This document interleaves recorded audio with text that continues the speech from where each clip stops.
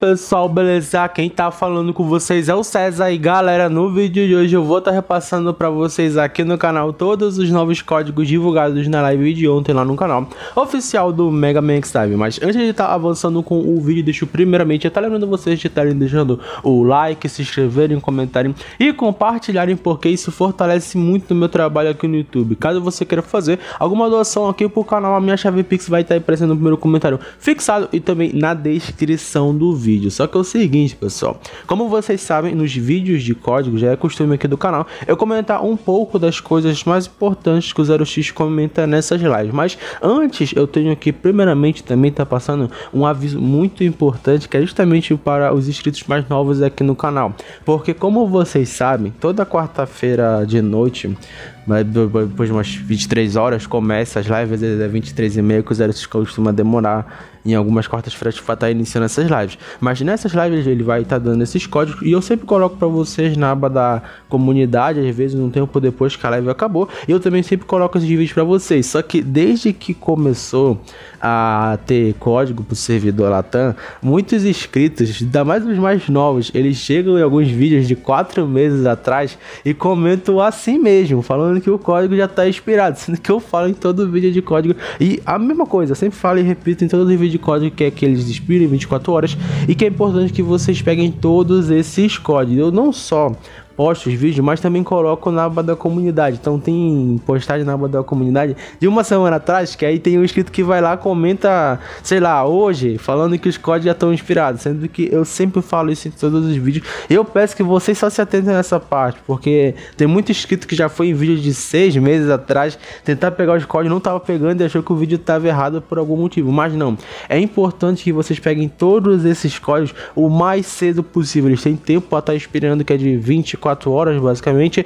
Ou seja, Quinta-feira inteira tem como vocês estarem pegando. Sexta-feira, infelizmente, já vão estar inspirados. E tem várias formas de vocês estarem conseguindo esses códigos. Tem os grupos do WhatsApp, tem os grupos, tem o grupo oficial do Discord que tem um chat lá, que é o chat Code Center, que é só para vocês estarem pegando esses códigos que os próprios moderadores do grupo lá, que são escolhidos a dedo pro 0x, eles vão colocando lá de forma organizada para estar tá pegando todos esses códigos. Então tem inúmeras formas diferentes para vocês estarem pegando esses códigos antes mesmo de eu estar tá postando o vídeo. Mas agora que eu já falei isso para vocês, bora começar começar a comentar basicamente os pontos principais do que o Zero falou na live de outro. Dessa vez que ajudou na tradução da live foi o Patias, que como eu já falei para vocês, tem vários inscritos que ajudam na tradução da live do Zero X. Às vezes já teve um amigo meu FR que joga bastante X-Live também, que ele me ajudava nas traduções. Teve o Shadow, que é moderador lá do grupo oficial do Discord, que também já me ajudou bastante nas traduções. E dessa vez foi o Patias que tem ajudado bastante nas últimas traduções. Deixa eu ver aqui se eu acho Tá bem aqui, ó. Os personagens do Street Fighter. Eu já tinha comentado com vocês que o Zero falou que logo em dezembro vai estar tá voltando o evento de collab com o Street Fighter. Dessa vez ele falou que vai ser logo no início de dezembro esse evento vai estar tá retornando. Então é muito interessante a gente saber isso, porque nesse evento a gente vai ter os pacotinhos de carta do evento do Street Fighter que eram bastante bons. E hoje em dia, eu não sei se ele vai, sei lá, trazer algum antigo que era A e transformar em S para estar tá deixando melhor. Mas tem uns como bem interessante. Lá tem umas cartas bem boas. A própria carta do Akuma quando ela chegou no jogo, ela era basicamente a melhor carta para PVP do jogo todo. E aí aqui, ó, tem os três personagens principais e na live de ontem ele falou que ele vai dar uma atençãozinha extra para Chun-Li, que pelo que eu me lembro, quando ela chegou, tinha uma galera que jogava com ela no PVP, mas ela também era muito interessante pro modo corrida, porque a primeira habilidade dela, ela dá um 10 para frente. E essas habilidades de dash no modo corrida, elas eram muito boas no começo do jogo e até hoje são. É por isso que o Super Bash, possivelmente até hoje, ele é um dos personagens mais utilizados para modo corrida, junto com o Shadow Armor X e até mesmo agora esses últimos personagens que estão sendo bufados, aqueles que têm habilidade de dash e buff de velocidade aumentada, eles se destacam bastante para esse modo de jogo. Então, possivelmente a Chun-Li deve ficar bastante meta para modo corrida. E aí também, né, tem o Akuma, que quando chegou ele era muito forte para PVP e também para boss. Esse é um personagem que eu tô bastante interessado no buff dele, porque ele já era bom para boss. Com o buff dele, vai que ele fica, sei lá, uma. igual a Rico C. A Rico C, ela ficou basicamente uma nova Iris. Vai que o Akuma também fica assim, eu não tenho ele. E ele era, era um dos únicos personagens do evento de Street Fighter que eu queria muito na minha conta, e infelizmente eu não peguei. Então vai que ele volta, fica full meta de novo. E se ele ficar, é quase de certeza que eu vou estar indo atrás dele, porque eu tô com 29k de Element Metal. Tô com uma porrada de Element Metal. Galera, você está dando muito M nessas últimas atualizações. E obviamente eu tô aproveitando tudo. Aí deixa eu sair aqui da parte dos personagens, porque basicamente esse foi o ponto mais importante da live de ontem. Também teve outro ponto muito importante, que em um momento da live o 0x comentou, isso foi uma coisa que o próprio Patias falou para mim, que foi bem engraçado, que o 0x falou que se algum dia ele for tirar férias, ele pretende tirar férias aqui no Brasil, ou seja, se ele vai pra cá, ele vai ser cobrado, porque ele já tratou o servidor tá muito mal. Mas agora, pessoal, Deixa eu estar tá colocando os códigos já já na tela, mas antes deixa eu ensinar vocês como é que funciona para estar tá pegando. É ali no canto superior direito da tela, no ícone de engrenagem, vocês vão estar tá clicando nele. Bem aqui, ó. Vocês vão estar tá vendo aqui, ó, na terceira opção de game e vocês vão estar tá clicando ali, ó, Activation Code. Para vocês que estiverem no PTBR, é código de ativação. Clicou aqui, vai estar aparecendo a opção para vocês estarem colocando os códigos. Os códigos vão estar aparecendo agora todos na tela. No total, se não me engano, foram cinco códigos, mas as recompensas se mantêm as mesmas, porque, como vocês sabem, antigamente eram sete, só que cada código dava uma recompensa individual. Agora não é mais assim, tem alguns códigos que estão dando, tipo, duas recompensas de uma vez só. Aí, desde acho que já tem umas 4, 5, já tem uma para de live que tá sendo dessa forma. Mas as recompensas mesmas, são memórias de arma, memória de personagem, são aquelas caixinhas que tem chance de vir de 20 a 100 elementos metal, tem outras que tem chance de vir de 100 a 1000 e a outra que tem chance de vir de 700 a 7000 elementos metros, que como você sabe, recentemente consegui pegar 2k foi uma excelente recompensa. E bem aqui na parte de cápsula, o 0x, na última live, ele deu um ticket que tinha a possibilidade da gente estar tá gastando ó, no banner da Rico Normal, da Rico C, que foram bufadas, ou a gente poderia também estar tá gastando aqui no banner da Dive Armor Rico com a Ultimate Blast. E dessa vez não foi diferente porque ele deu um ticket que tem a chance, a chance não, tem a possibilidade da gente estar tá gastando ou no banner do Nightmare Zero com a Singularity Slash, que é a espada do Ômega, ou no banner do Next Dive Armor X e do Dive Armor X. Que lembrando, o Next Dive Armor X recebeu seus códigos em A, o Dive Armor X foi bufado, a Singularity Slash foi bufada e também o próprio Nightmare Zero também foi bufado, Zero Fantaúva. Eu peguei esse ticket e por recomendação dos meus amigos, eles falaram para mim que era melhor estar tá gastando no banner do Nightmare Zero, porque tinha muita gente gastando no banner do Next Dive Armor X e do Dive Armor E não tava vindo muito S, tá? Um banner meio fuleiro, tá? Um banner meio humeado. Então no Nightmare Zero eu gastei, eu consegui pegar mais uma cópia do Nightmare Zero, só que tem um problema, né?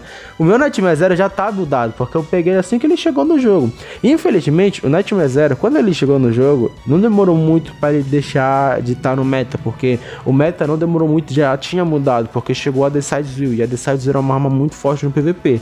E o Nightmare Zero era um personagem focado no PVP. Só que agora que ele foi melhorado, muitos jogadores gostaram bastante do buff dele e a temporada do PVP resetou. Temporada do PVP resetou e agora o, o 0x colocou um novo ranking, que é um PA. E a gente tá conseguindo mais elementos meta. Então possivelmente eu vou estar tá colocando ele no meu time. Porque é um personagem. Mano, o Nightmare Zero eu, eu, não, eu não sou muito chegado no Mega Man X6. Tem uma galera que gosta muito do Mega Man X6 porque ele é um jogo que, se tu souber jogar, souber aproveitar dos glitches, tu ele é muito rápido. Mas eu não sou aquele cara que, pô, joga Mega Man dessa forma. Não, sou aquele jogador mais casual e tal. Por mais que alguns tenham a impressão de que aqui no X-Dive eu tenho uma conta porrada, eu sou meio tryhardão, mas não, pessoal, eu não sou tryhardão no X-Dive não. Mas o Nightmare Zero, pessoal, no Mega Man X6, eu acho esse personagem muito foda. Tanto ele quanto o Awakening Zero lá no X5. Eu acho o Awakening Zero mais foda. Só que o Nightmare Zero eu consegui pegar quando ele chegou. Eu peguei numa diária de graça. E o Awakening Zero eu não consegui pegar. Eu fui pegar ele muito tempo depois. Hoje em dia ele é só PVP. O Nightmare Zero, quando eu peguei ele, ele era bastante PVP. Eu ainda cheguei ao pai que naquele tempo não era tão focado assim pro modo do jogo como eu sou hoje. Mas quando eu peguei ele, eu fiquei felizão. Porque esse personagem é muito foda. A arte dele é muito foda. Ele é um personagem extremamente divertido de estar jogando. As habilidades dele nem se falam. Essa primeira habilidade dele tá teleguiada agora teleguiada. Tá extremamente roubada. Essa habilidade dele aqui, ele pode usar duas, que se não me engano já fazia antes. Eu não tô lembrando se ele já podia usar duas, se ele fosse atacado, não tô nem lembrando agora como é que ele funcionava, que fazia, olha, meses que eu não jogava com o Nightmare Zero no PVP, mas tá muito brabo. E o meu, ele tá buildado, quando eu peguei ele, eu buildei ele pra boss, porque Rapidola ele saiu do PVP, eu falei, ah, mano, o meu já tá 5 estrelas, não tem nenhum personagem bom pra bater em boss, então eu buildei ele pra boss mesmo, e só esse DNA aqui que ele é interessante no PVP. Se eu não me engano, quando atinge o inimigo com interferência, tira os buffs dele, não tô nem lembrando com a tradução agora. Mas basicamente isso aqui é a build do meu, e falta acho que eu terminar de buildar o Daiva Morex só que eu não vou buildar ele não. Eu acho que por enquanto eu não vou buildar ele, porque eu tô focando na build do meu máximo, que eu terminei de buildar. Deixa eu mostrar aqui pra vocês, ó. Meu máximo eu terminei de buildar. Terminei não, ainda falta acho que só o, o esse slot bem aqui. Falta dar uma alterada nesse slot. Eu tenho três, eu tenho três dele? Três não, tenho seis, eu nem sabia. Bora ver se eu consigo pegar uma caninha aqui, bora ver, bora ver. Não, Launch Amplification é interessante, mas eu não vou usar o lançador no meu. E. Não, não, só veio, só veio um miado, pessoal. Só veio DNA miado. Mas eu tô feliz, eu consegui pegar todos os do crítico dele. Aí eu vou ver, eu vou ver ainda o que, que falta eu herdar nele. Eu só não desbloqueei esse daqui porque ele aumenta a defesa. Ele é bom pra boss. E defesa em boss é muito não tem necessidade tão grande assim. Eu também já coloquei DNA no meu NX, no meu Unidax, olha aqui, ó. Aqui embaixo tá tudo doido, tudo doido, mas vou deixar assim mesmo. Ele tá com persistente, não, 1, 2 3 ali que eu herdei nele. E eu não sei se eu vou buildar ele não, porque ele é bom pra PVP. Boss tem uma galera que bate com ele, mas eu acho que eu não tenho necessidade de bater com ele em boss. Pelo menos por enquanto. Pelo menos por enquanto, eu vou ver, né? Eu tenho uns personagens bem porrados pra boss.